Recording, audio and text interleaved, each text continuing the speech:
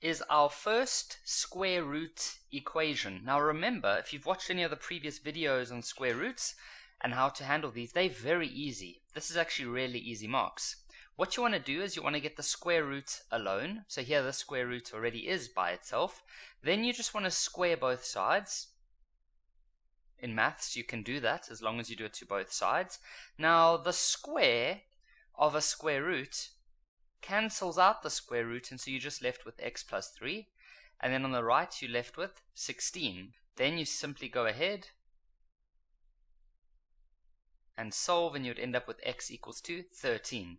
What's very important with square root equations is you should always check your answer. The reason is, is that square roots can sometimes give you a error on the calculator, so you have to check it. The way that you check it is the following. You take the answer, and you plug it into the equation wherever you see x.